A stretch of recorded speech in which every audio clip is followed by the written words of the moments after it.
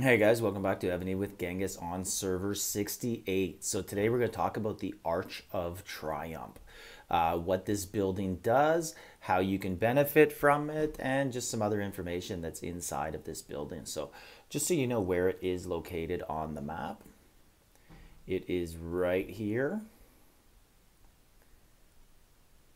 So zoom in here, it's right beside the throne. And basically you click on it and we'll just go through all the buttons here. Obviously share, you could show your teammates where it is. It's excellent. They should all know where it is. You click on details and it'll tell you everything in here. Uh, basically, you can find out how many times someone finishes top three or if they are in the rankings for top 300 of BOC, BOG, or if they have opened their Wonder and inside of it, you get to send flowers. So some people uh, if you go on here on the far right, this is the people who get Wonder. And right here, the one that's yellow right now, this is for all the people who finished this current season top 300 in Battle of Gaugamela. That's the one on Wednesdays, BOG. And this one's for BOC. So quite a people actually, quite a few people on our server actually got uh, top 300 on this one. So very impressive.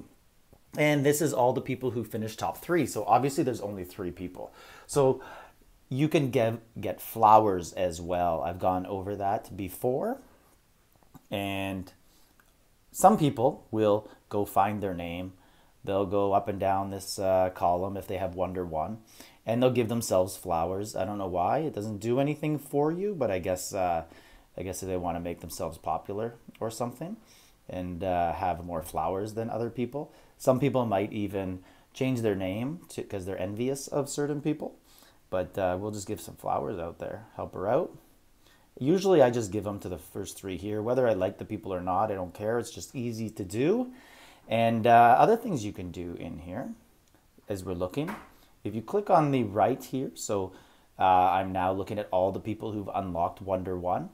If you look at them very closely, what you can see in here, you can see a number two, right? I kind of smudged it out there. But uh, right here, that's a number two. So that means that person has unlocked Wonder 2. And this person has unlocked Wonder 3. And then some people will have just Wonder 1. So we'll try and find someone here, but that's all you can really see here. So right here, if you look at the top person there, Odin Storm, that is Wonder 1.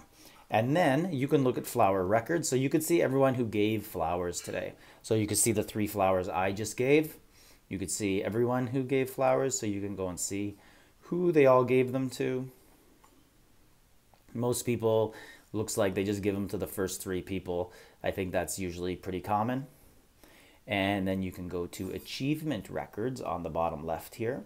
And the way to read this, so some people, uh, you can use this to, I guess, evaluate other players, see how many times they finish in the top three in SVS, not top five, because if you look here, look at this blue flag right here, this will, this,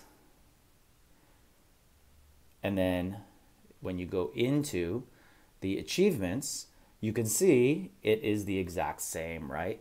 So each of these, and then that one, I'll just circle on different people just so you can see. They all match what these four look like. Right? So they mimic that. And that's exactly what you're seeing there when you're looking at achievements. So you can look and see how many times. And you look at the top player here. Mamba and Mini Megs, the top two guys, they have dominated the top three in SVS rankings. You can see that clearly in right beside their names, and then you can see how many times they finished in the top 300 for BOC, BOG, and what wonder they have. So some people thought that you could see how many times someone finished top five or 10 on the server, and you can call them out and call them a liar, but you actually can't see that. You can only see top three, so the only way to record anything else like that is to have your own spreadsheet or keep track some other way. But uh, basically, this is it. This is building, uh, gives you those flowers, and then I'll show you right here, the most important part is the actual flowers, and here they are. You can see the different gifts you got you can get, and the most important one is probably stamina. That's what I always hope for. So let's just see. And there I got eight 8 times 50 stamina, so 400 stamina. Not bad for just going over and clicking on a building once a day. You can do that and send three flowers.